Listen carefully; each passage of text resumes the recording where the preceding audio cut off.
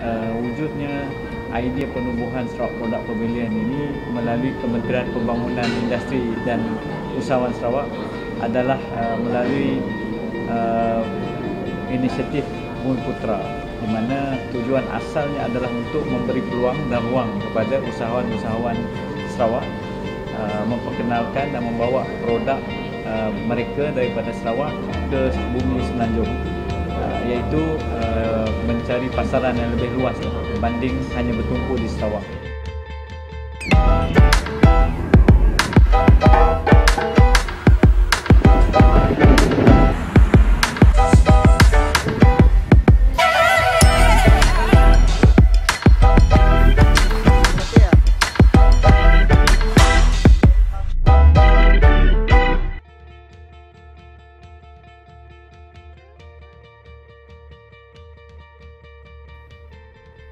Komitmen Kerajaan Sarawak untuk bantu usahawan Sarawak tembusi pasaran luar kini boleh menjadi realiti. Dengan adanya Sarawak Product Pavilion di Kuala Lumpur, lebih ramai usahawan Sarawak dapat memperkenal serta mengetengah produk mereka. Kerajaan Negeri Sarawak uh, telah mewujudkan Sarawak Product Pavilion yang mana terdiri daripada bangunan dua unit, lima tingkat. Di uh, dalam bangunan ini kita sediakan ruang untuk perniagaan, kita ada ruang kafe, kita ada uh, ruang untuk uh, perabot yang melibatkan kayu kayan Sarawak yang unik seperti kayu belian. Kita ada e-commerce uh, unit yang mana berfungsi membantu pemasaran secara online dan digital. Selain itu kita juga ada ruang untuk uh, seminar bagi bagi memberi ruang uh, kepada usahawan maupun anak-anak Sarawak yang mahu menggunakan pakai kemudahan yang ada. Kebanyakannya orang berminat ingin tahu uh, apa itu produk Sarawak. Itu macam uh, yang yang paling uh, kenal di sebarang ladi hitam, kemudian beras bario, uh, itu semua barang-barang yang diorang diorang interested nak tahu sebab barang itu unik dan diorang susah nak dapat barang itu. Pendekatan yang diwujudkan Kementerian Pembangunan Perindustrian dan Usahawan dilihat berfungsi sebagai platform untuk usahawan Sarawak tembusi pasaran semenanjung Malaysia dan seterusnya ke peringkat global. Kita tahu produk-produk Sarawak sudah pun menembusi pasaran di semenanjung.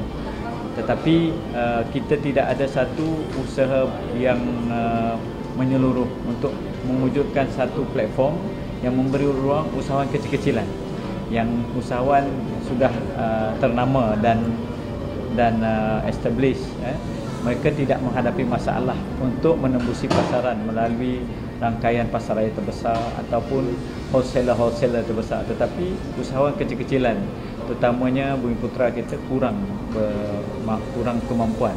Jadi di situ kerajaan negeri melihat uh, perlunya ada usaha untuk membantu di situlah peranan SPP ini uh, apa ni uh, diwujudkan dibangunkan di kawasan beli belah yang terkenal di Jalan Tuanku Abdul Rahman, SPP melibatkan pelbagai usahawan perusahaan kecil dan sederhana Sarawak yang diuruskan secara sistematik di dalam satu ekosistem. Dan juga kita provide uh, delivery untuk orang yang perlukan uh, barang-barang yang diorder dari kita punya uh, e-commerce punya portal. So kita akan uh, uh, buat provide uh, itu apa namanya proses penghantaran untuk dia. Apabila kita wujudkan hostel ni eh, kita mendapat uh, sambutan daripada kebanyakan yang memerlukan perkhidmatan. Satu cas kita adalah sangat murah lah eh, dan bukanlah tujuan komersial kedua uh, kita bekerjasama dengan pihak IJN Hospital Kuala Lumpur uh, Sarawak Volunteer Rumah Sarawak yang mana mereka yang akan buat referral pesakit ataupun keluarga pesakit ataupun student yang dalam transit nak pergi ke universiti yang memerlukan uh, apa ni penginapan sementara kita bantu di sini. Sarawak Produk Pavilion juga menjalinkan kerjasama dengan pelbagai agensi berkaitan kerajaan negeri seperti Perbadanan Kemajuan Perusahaan Kayu Sarawak Pusaka, Kementerian Pelancongan Kesenian Kebudayaan Belia dan Sukan, Jabatan Pertanian Sarawak dan Persatuan Anak Sarawak. Uh, nak cari pasal uh, lada hitam kah, nak cari uh, pasal barang-barang uh, barang-barang dapur yang orang madah sitok seedah uh, di situ saya ada tapi yang dari sini ada di situ ada. Uh, di SPP tu ada pada tuan luar ya bolehlah datang dekat SP dekat situ sebab kat situ macam-macam barang boleh dapat. Mana yang susah nak dapat dekat luar kat situ ada. So jangan takut nak datang sebabnya biasa buka.